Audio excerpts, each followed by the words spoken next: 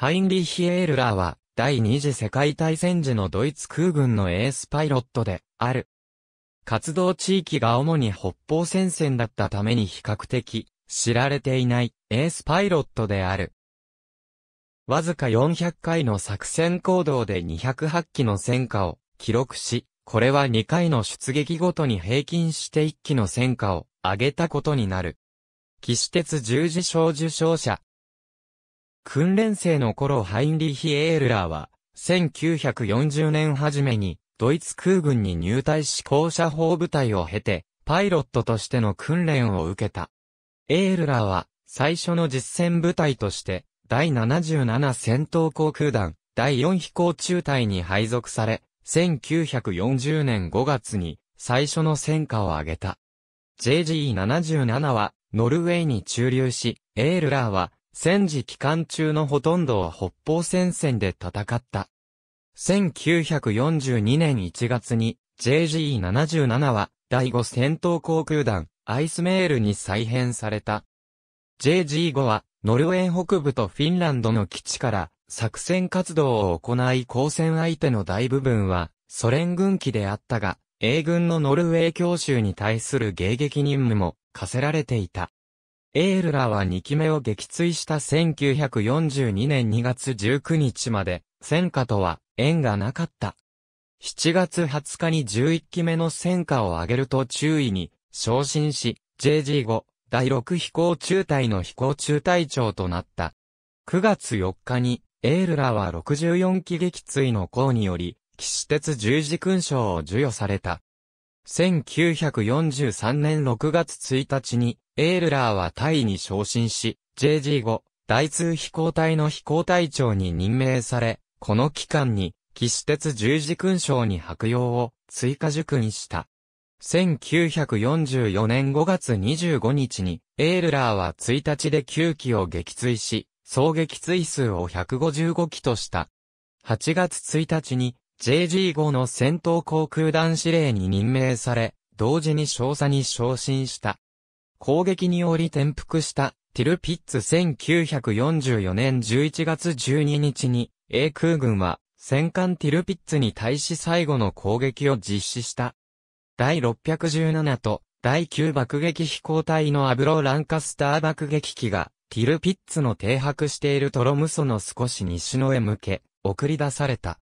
その当時エールラーは、JG5、第9飛行中隊と共に、バーダフォス航空基地に駐在しており、作戦可能な12機のフォッケウルフ FW190A-3 戦闘機を保持していた。飛行中隊は、トロムソ地域への継続的な A 爆撃機体の圧力に備え10分待機の状態にあった。エールラが部下たちを引き連れ離陸すると、敵爆撃機の目標に関する錯綜した情報を受信した。ある報告では、目的地は、アルタと、他の報告では、暴動と報じていた。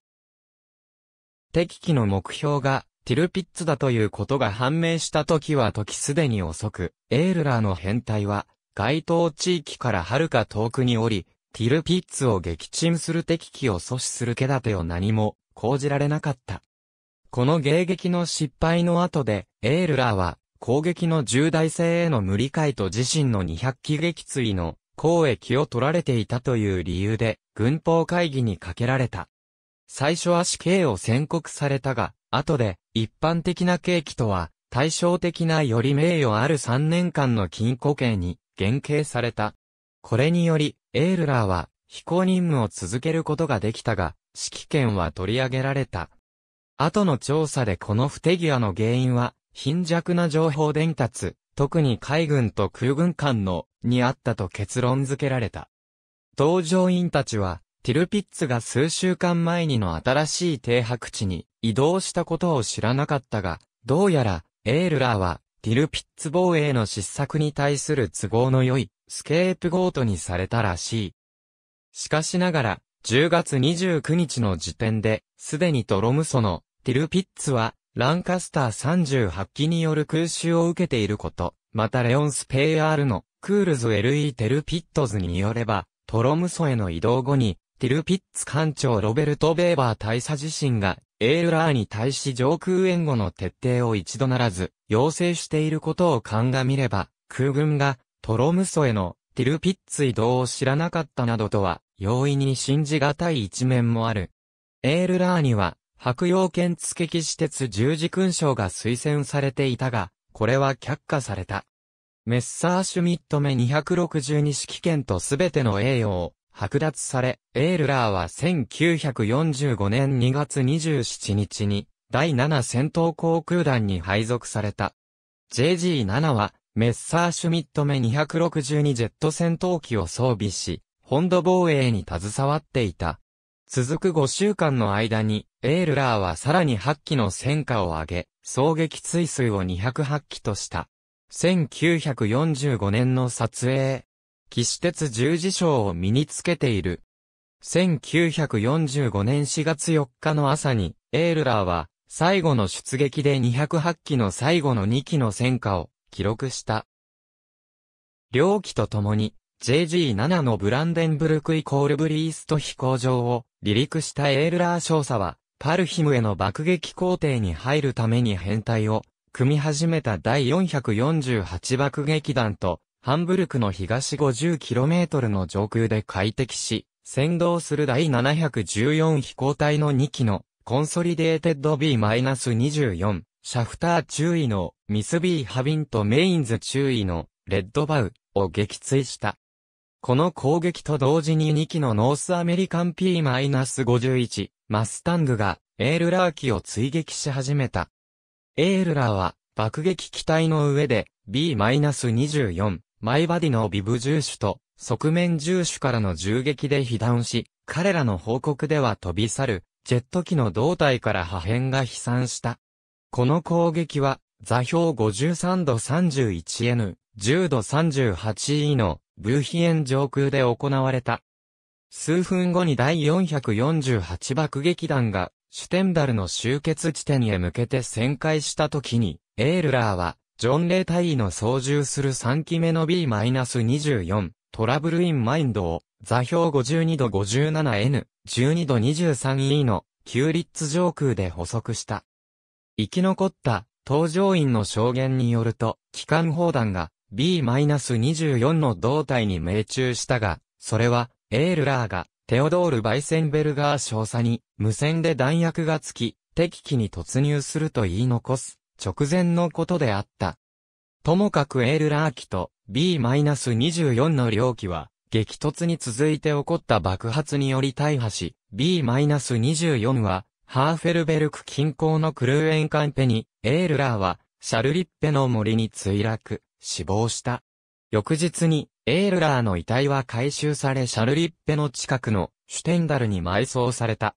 シュテンダルにあるエールラーの墓には、死亡日が1945年4月4日と記されている。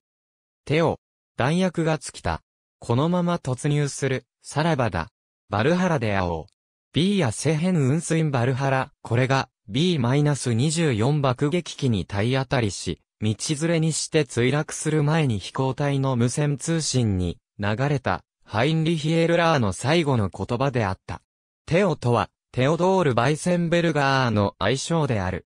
JG5 第6飛行中隊所属のメッサーシュミットボーイフレンド109の13605号機がロシアで発見されると大戦機修復家のジム・ピアースにより買い取られ、2003年11月に回収された。これは、エールラーが200機目を撃墜した時に登場していた機体であり、その後、JG7 に転属して、目262に登場した。この機体は後に、ロシア北西部で赤軍の対空砲火で撃墜され、ツンドラに不時着し、回収されるまで、そこにあった。これは現在修復の最中である。ルフトバッフェ、シーズ、エアラーバイオグラフィーパイロテンバンカー、エアラーバイオグラフィーエアラー、バイオグラフィー歴史コンデアベアマハト、エアラーバイオグラフィー。ありがとうございます。